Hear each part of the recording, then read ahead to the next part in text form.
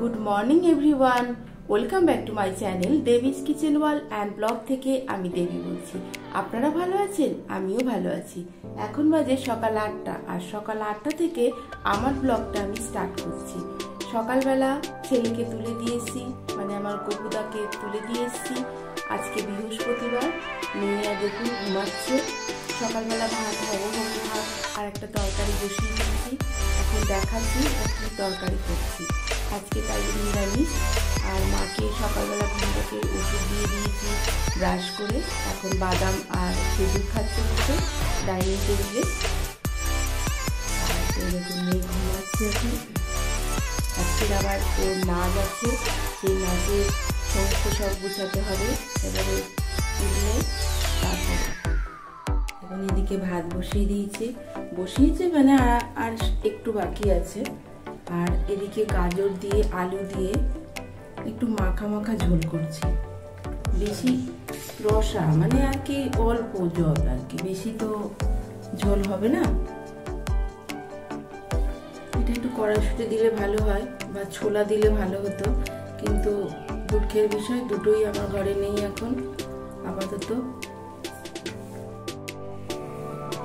এখন বাজে নটা, দেখুন আমার রান্না কমপ্লিট হয়ে গেছে। আর আজকে দুপুরে লাঞ্চে আছে গাজর, আলু দিয়ে তরকারি। আর এটা একটু করেছি হচ্ছে কালো জিরে ফোড়ন দিয়ে, শুকনো লঙ্কা ফোড়ন দিয়ে, কুমড়ো আলু, একটু ভাজা ভাজা করেছি ওই একটা করলাম। ভাত তো হয়ে গেছে, আলু সিদ্ধ হয়ে গেছে। আর এদিকে সমস্ত গুছানো হয়ে গেছে।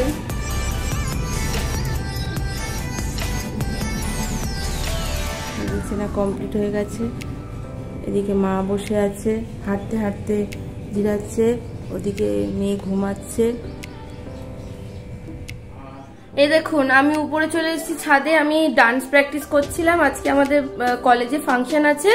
প্রাইজ ডিস্ট্রিবিউশনের জন্য একটা কালচারাল প্রোগ্রাম অর্গানাইজ করেছে ম্যানেজমেন্ট টিম তো সেই রেসপেক্টে আজকে আমাদের আমার একটা ডান্স প্রোগ্রাম আছে, আমি নাম দিয়েছি।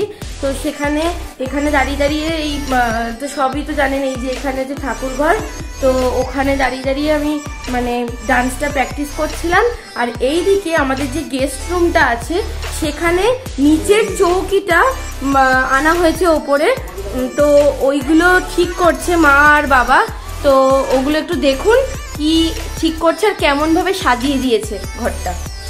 এ দেখুন মা এটা পাচ্ছে আর এই জাজিমটা কোথা থেকে এসছে মা বলে দাও। এইটা হচ্ছে মেয়ের জয়পুরে যে হোস্টেলে ছিল সেখানে এই মোটা জাজিমটা আমরা কিনে দিয়ে এসেছিলাম।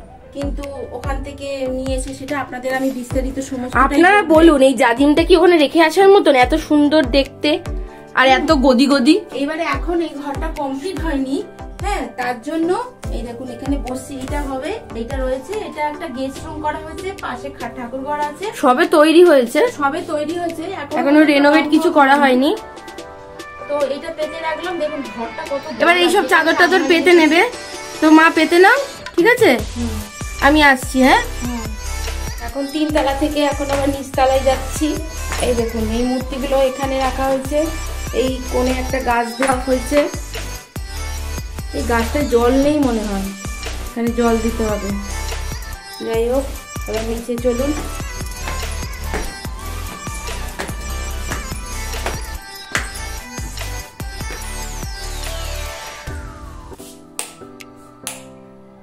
এই দেখুন, যে ছোট খাটটার কথা বললাম না, ছোট খাটটা এই জায়গাটা ঠিক ছিল। এই জায়গাটা। আপনারা দেখেছেন কোনো এক ভিডিওতে এইখানে ছিল। প্রায় পনেরো বছর হবে পনেরো কুড়ি বছর এইখানটা ছিল যে দুতলায় মানে কেউ নিচতলায় আসলো যখন খুব ঠান্ডা মানে নিচতলাটা আমাদের প্রচণ্ড ঠান্ডা। তাই ওইখানে শুয়ে পড়লাম বা ওর বাবা নেই বাড়িতে, মেয়েকে চাবি খুলতে হবে কলেজ থেকে আসার সময়। এবারে আমি তখন এখানে শুয়ে থাকতাম। তো যাই হোক, যখন আমরা দুতলায় উঠে গেছি, তখন আমাদের এই খাটটা এখানে মানে এখানে নিজেই আমাদের যখন দুতলার কাজ হচ্ছিল, জানলা, দরজার, তো তখন আমাদের এই খাটটা বানিয়েছে।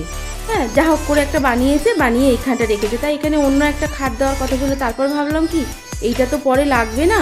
তো আর নতুন কোনো খাট কিনে লাভ নেই। তা আমাদের কাঠের মিস্ত্রি যা কাঠ ছিল সেগুলো সমস্ত দিয়ে একটা যা হোক করে একটা খাট করেছে আর কি। একলা থাকার জন্য হঠাৎ করে কেউ আসলো, এখানে থাকল, তখন তো তিনতলাটা হয়নি। তো যাই হোক, আমাদের এই বেতের সেটটা আমরা হস্তশিল্প মেলা থেকে কিনেছিলাম। এটা আমার খুব প্রিয় একটা সেট আর কি। অন্য অন্য অনেক আর কি মানে সোফা টোপা আনতে চেয়েছিল, কিন্তু আমার বেশ ঘর জাম হয়ে যায়, ওই সোফাগুলো আমার একটুও ভালো লাগে না।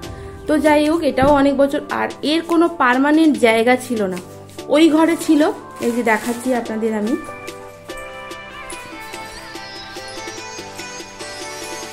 এই ঘরটা আমার শাশুড়ি মা থাকতেন। তো এই ঘরে রাখা হয়েছিল এইটা। এবার এই ঘরে যখন ওর বাবা ক্লাস করে, তখন এই ঘর থেকে আবার এই ঘরে আনা হতো। এর পারমানেন্ট কোনো যে একটা জায়গা সেইটা ছিল না আর কি এতদিন। যেহেতু এই খাটটা, যে ছোট খাটটা ছিল, সেই ছোট খাটটা আর কি মানে এখানে ছিল। তাই জন্য এনে আবার ওইগুলো ওখানে, যান কোনো লোকজন আসলে নিচের তলা সে তো সময় সবসময় উপরে উঠবে না। তো যাই হোক তাই জন্য আমরা আবার এই, এইটা আবার ওই ঘরে রাখতাম। এবার ওই ঘর থেকে যখন ওর বাবা রবিবার মানে কাজ মানে কি বলে, ক্লাস করতো, তো সেই সময় আমরা এখানে এইটা আবার রাখতাম। তো এইটা তোলার পরে এখনও কিন্তু উপরটা কমপ্লিট হয়নি। আর আমাদের এই নিচে টাইলসগুলো লাগানো হয়েছে এখনও পর্যন্ত এটা ঠিকঠাক করা হয়নি। একের পর এক যা বিপদ যাচ্ছে আমাদের পরিবারের মানে মধ্যে দিয়ে। আমার চোখ অপারেশন, এই উপরটা করতে করতে আবার নিচে তা যাই হোক, এইটা এবারে এবারে যে ওর বাবার যেই মূর্তিগুলো আছে, সেগুলো আপনাদের একদিন দেখাবো। তো এই মূর্তিগুলো পারমানেন্ট একটা জায়গা পেল আর কি, নিচতলাটা পুরোটাই আর কি এখানে থাকবে। তো এই দেখুন, এখানে আছে, এখানে তো একটা কাঠের আলমারি, এটা হচ্ছে আমার মানে অনেক বছরের আর কি। শ্বশুরবাড়ি তখন আমারও বিয়ে হয়নি। তো যাই হোক, এইটা রেখেছে আর এই পেন্টিংগুলোর বাবা করেছে। এখানে এই গণেশজি যেখানে আছেন আর কি, সেখানে এই এখানে একটা আবার ড্রেসিং টেবিলের মানে কি বলে, দিয়াল, আলমারি ড্রেসিং টেবিল তো সেই অনুযায়ী এখানটায় ছিল, সেটা ওখানটায় দেওয়া হয়েছে। এখানে এই গণেশটা। তো আপাতত পারমানেন্ট একটা জায়গা আর কি হলো এইটার। আমি গুছিয়ে এখনও পর্যন্ত আসলে উপরে কাজ হচ্ছে তো, তার ফলে এই ডাইনিংটা এরকম আছে, এরকম গুছিয়েছে। দেখুন, আমাদের তো আমি সব সময় তো এখন গুছাতে পারছি না, ওর বাবার কাজের ফাঁকে ফাঁকে এইগুলো তাকে গোছাতে হচ্ছে।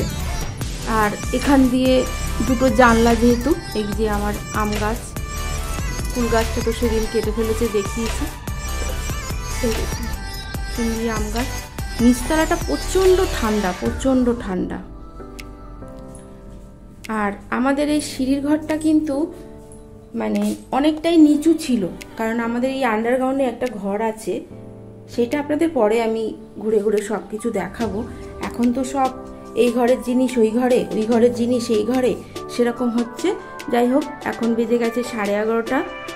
তো চলুন, এবারে মাকে স্নানটা করাবো।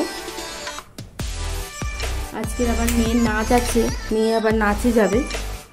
নাচের ফাংশান আছে ওর কলেজে, তাই জন্য তাকে আবার সাজানো থেকে শুরু করে সব কিছুই করতে হবে।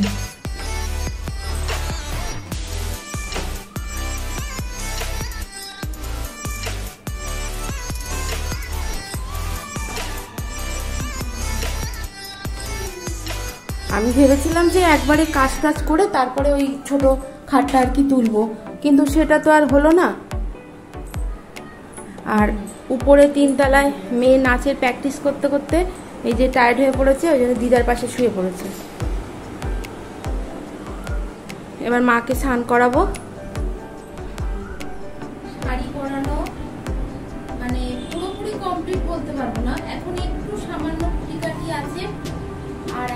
মেকআপ চলছে তাড়াহুড়োর মেকআপ এটা। মেকআপ চলছে খোপা বানানো হয়ে গেছে।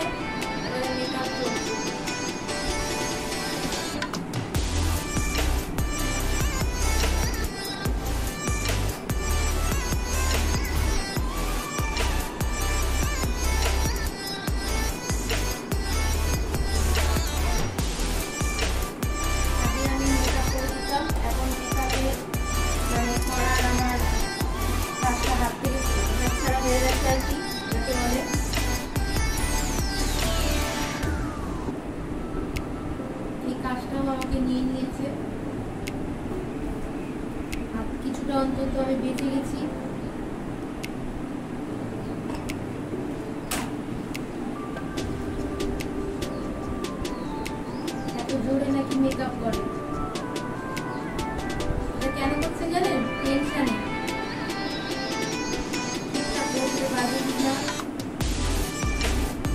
ড্রাইভার আছে তো?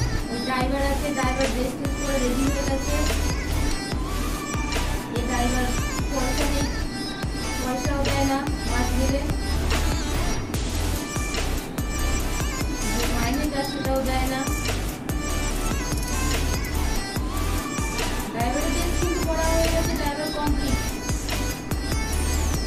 তাহলে কল তো শুনতে হবে না। মায়না কেটে নেবে। মাইনে কেটে নেবে আমার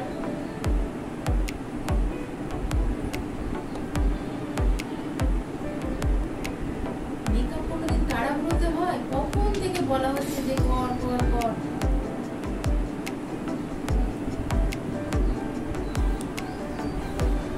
ঠিক মেকআপ করতে থাকো এখন। দেখুন মেয়ে সাজ কমপ্লিট করে ফেলেছে। এবারে তাড়াহুড়ো করছে। এই দেখুন এইভাবে শাড়িটা আমি পরিয়ে দিয়েছি। দেখি সামনের দিকে করো মা। এই যে।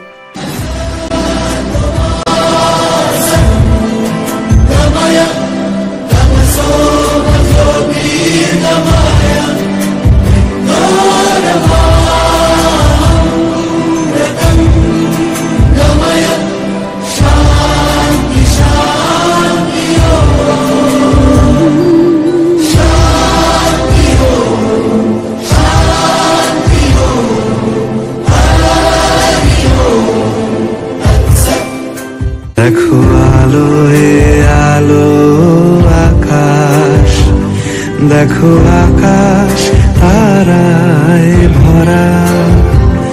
দেখো যাওয়ার পথের পাশে ছোটে হাওয়া পাগল পারা এত আনন্দ আয়োজন সবই বৃথা আমায় ছাড়া। ভরে থাকুক আমার মুঠো, দুই চোখে থাকুক ধারা। এলো সময় রাজার মতো, হলো কাজের হিসেব সারা।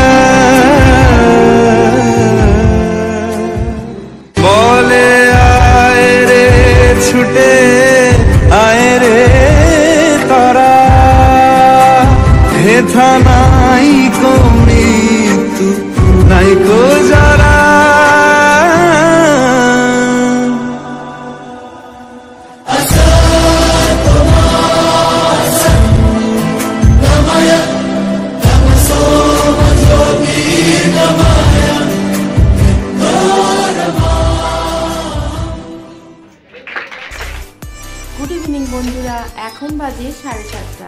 দেখলেন তখন মেয়ে নাচে গেল সমস্ত তার নাচ টাচ কমপ্লিট মানে সব সেজে গুজে বেরোলো। বেরিয়ে তারপরে নাচও, ওর আমি ফোন করেছিলাম, নাচ কমপ্লিট হয়ে গেছে ভালো হয়ে গেছে। তো যাই হোক এগুলো সমস্ত সব গুছানো আমি এক সাইডে রেখে দিয়েছি, ও এসে তারপরে গুছাবে। আর এখন হচ্ছে একটু চা বসিয়েছি সন্ধ্যাবেলা। মাকে মুড়ি দিয়ে, আলু দিয়ে আর গোলমরিচের গুঁড়ো দিয়ে দিয়েছি মেখে। মা খেয়েছে, চা খায়নি আছে কিন্তু আমার মাথাটা আজকে খুব পেন হচ্ছে। গলায় ঢোক গিলতে পারছি না, ঘাম জমে গেছে। যাই হোক, এই বাকি কাজটা এবার সেরে নিই, সব চা খাই। দুজনে। এখন দুজন আছে, মা তো আজকে চা খাবে না। তো দুজনে চাটা খেয়ে নিই খেয়ে নিয়ে তারপরে আবার আসছি। কলেজে যে ফাংশান ছিল, সেখান থেকে এসে সমস্ত জামা টামা মানে শাড়ি পরেই তো নাচ করল, দেখলেন আপনারা। তো সেটা ছেড়ে আবার শর্ট বানালো, এই যে স্টার্ট করে। এখন দেখুন আমার ঘরের অবস্থা। এখন ভদ্রমহিলা শর্টটা ছাড়ছে, তাই জন্য খুব ক্লান্ত। আর ঘরের অবস্থা দেখছেন? এগুলো এখন সব গুছাতে হবে। এই দেখুন অবস্থা। রাতের রান্না কমপ্লিট হয়ে গেছে। এখন এবার মাকে খেতে দেবো। দেখালাম আমার ঘরের কি অবস্থা। এগুলো সব আবার কারণ তখন ও সেজে গুজে যখন কলেজে গেল, তখন আমার সমস্ত আবার আমি গুছিয়ে রেখে দিয়েছিলাম। এসে সেগুলো ছাড়লো, সেগুলো তার আবার অবস্থা খারাপ, সেগুলো এখন একে একে তুলতে হবে। মাকে খেতে দিতে হবে, দিয়ে তাকে আবার সমস্ত ওষুধ ওষুধ দিতে হবে। তো যাই হোক, আমার ব্লগটা আর বেশি দূর এগিয়ে নিয়ে গেলাম না। এখানেই এন্ড করলাম। আপনারা যদি আমার চ্যানেলে নতুন হয়ে থাকেন, তো প্লিজ প্লিজ প্লিজ একটা সাবস্ক্রাইব করবেন। ভালো লাগলে অবশ্যই লাইক শেয়ার করতে কিন্তু ভুলবেন না। তাহলে ভালো থাকুন। সুস্থ থাকুন। আজ যাই। টাটা।